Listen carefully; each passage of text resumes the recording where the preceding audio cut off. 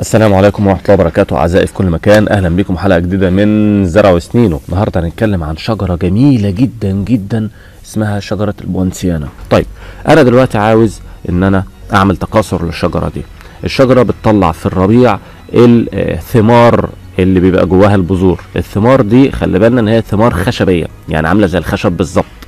فبتبقى قوية جدا وفي نفس الوقت بتبقى كتيرة جدا فالشجرة دي أنا مش محتاج أشتري بذورها أنا يا دوبك لو شفت أي شجرة في الشارع ممكن أقطف ثمرة أو اتنين هيبقى فيها عدد لا بأس به بالبذور ممكن أبتدي أعمل لها تكاثر على طول بالبذور.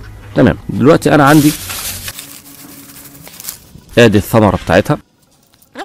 خدتها من شجرة أو من شجرتين علشان ما بحبش دايما آخد من شجرة واحدة يمكن تكون الشجرة دي ليها مواصفات مش حلوة أو كده فخدت دول من شجرة ودي من شجرة تانية خالص. واضح إن في اختلاف في شكل الثمار بس مش مهم. الشجر أنا ليا في الأول وفي الآخر الشجرة اللي بقطف منها شكلها إيه. فطبعا خدتها من شجرة شكلها لطيف ما فيهاش أي أمراض شجرة كويسة. عايزين نبتدي نفتح الثمرة دي. لو حاولنا إن إحنا نكسرها أو بتاع ناشفة جدا ناشفة جدا جدا لكن بتتفتح بطريقة تانية إن إحنا نجيب سكينة قوية ما تكونش سكينة بتاعت جبنة وكده لأ تبقى سكينة قوية أو أجنة بتاعت حيطة أو بتاع وإن إحنا نيجي على الفلقة هي بتبقى مفلوقة من هنا لأن ال ال الثمار دي عاملة زي شجر السيسبان كده إن هي بتطرقع أو بتفرقع لوحدها وكل البذور دي بتتنطر في الأرض لوحدها. فإحنا طبعا بنحصد الثمار البذور قبل ما تفرقع طبعا. فبتبقى مشقوقة من اليمين والشمال دي علامة طبعا النضج نحاول ندخل السكينة ما بينهم.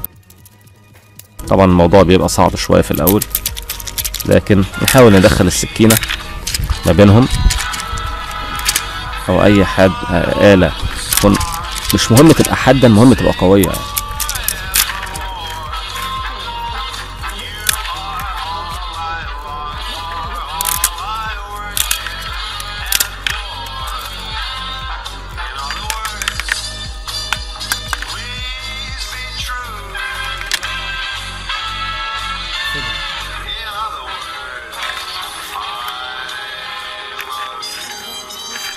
وآدي بذور البوانسيانا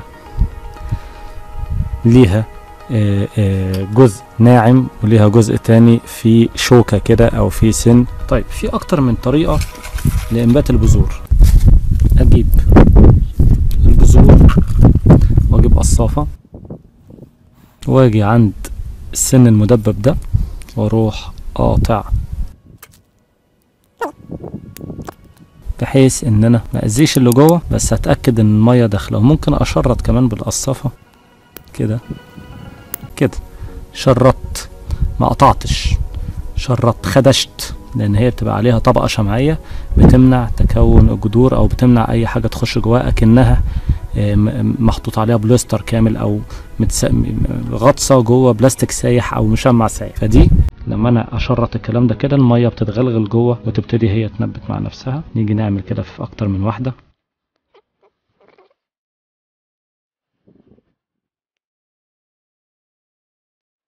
ونقوم نعينها في المية. يوم. مية باردة برضو. وهنا بعد مرور يومين آدي البذور الطبقة الشمعية اللي بنقول عليها على البذور اتشققت فعلا أهي.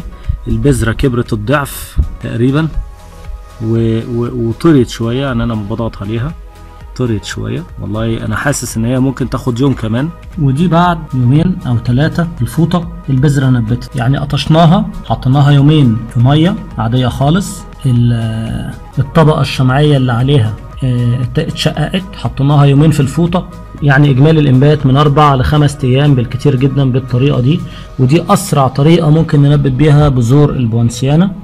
تمام؟ وهنا بعد يومين كمان. آدي أربع أيام في الفوطة. بعد يومين نقع في المية. أربع أيام في الفوطة عملوا كده. البذرة نعمت خالص. هتبتدي تشق بقى خلال يومين أو ثلاثة عشان تطلع البرع من الخضري هنسيبها برضو هنا. علشان التجربة لحضراتكم تشوفوا شكل الشجرة كلها إيه.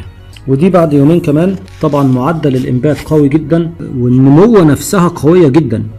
يعني زرعة بالقوة دي كده تبقى في أربع أيام بس من لحظة الإنبات.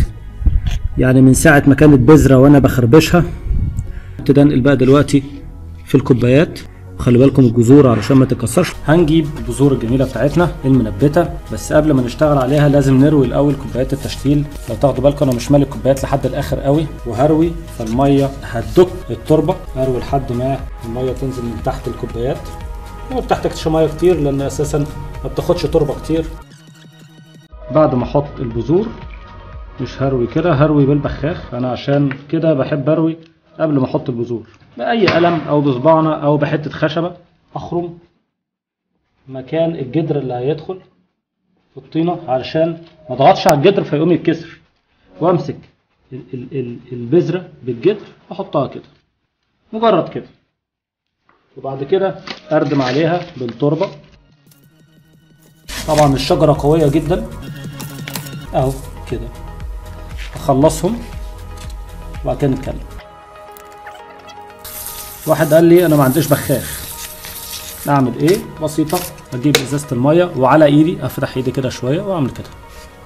أو أجيب كوبايات بتاعة التشتيل العادي خالص اللي أنا خارمها أصلا وأروح عامل كده وأدلق فيها. موضوع بسيط.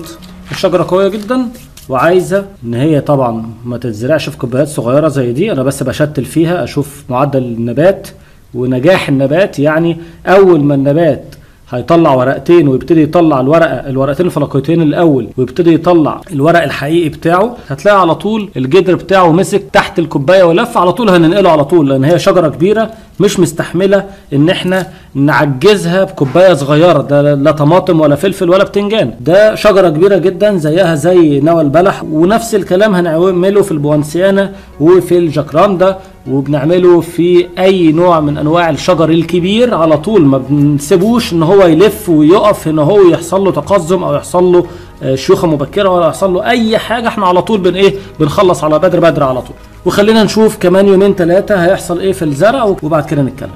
بعد 24 ساعة معدل النمو ممتاز.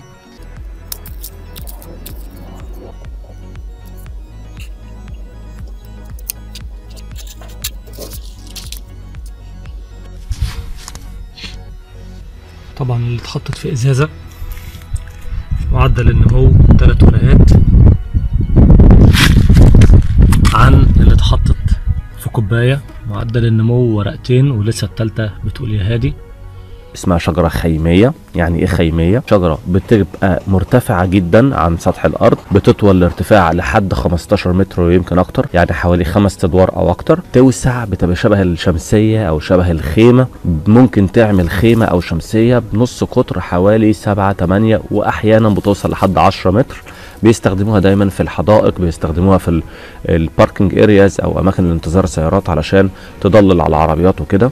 ميزة الشجرة دي اولا إن هي آه، شكلها جميل جدا جدا جدا لأن هي معظم الزهور اللي بتطلع فيها بتبقى يا إما باللون الأحمر الغامق يا إما الأحمر الفاتح. كمان جذورها مش تقيلة الجذور ما بتأذيش الأساسات مع إنها شجرة كبيرة جدا لكن جذورها خفيفة وفي نفس الوقت جذورها مش سطحية قوي فما بتاكلش المنطقة اللي حواليها في المزروعات. يعني لو زرع تحتها نجيلة لو زرع اي shrubs ما بتاكلهاش ما بتقتلهاش لأن الجذور بتاعتها عميقة إلى حد ما شوية. في نفس الوقت الشجرة دي أنا أقدر أزرعها في البيت أو على الروف آه، زرعتها.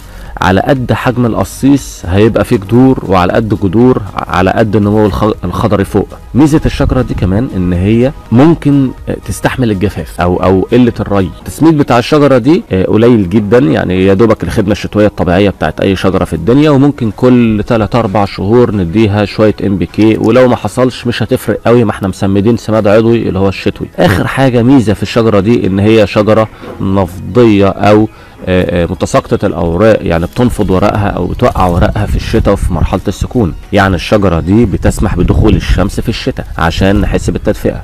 يجي الربيع زيها زي الشجر آه، اللي هو متساقط الأوراق زي العنب زي الخوخ زي التفاح زي الرمان. بتبتدي تطلع ورق جديد تبتدي تطلع أزهار جديدة وتبتدي تدينا الشكل الجميل طول الربيع. وطول فترة الصيف لحد موجة الحر ما تتكسر على بداية الخريف تبتدي الأزهار تقل ثم يبتدي الورق بتاعها يقع على نص الخريف أو آخر الخريف يكون الورق كلها وقع وتبقى آه، تسمح بدخول الشمس. ولحد هنا أكون خلصت الجزء الأول من زراعة البوانسيان الحمراء البذور ومراحل نموها. وشكرا لكل متابعين القناة ومشاهدين الفيديو ده وأتمنى إن أنتم ما تفوتوش الفيديوهات التانية وانتظروني في الجزء الثاني شكرا والسلام عليكم.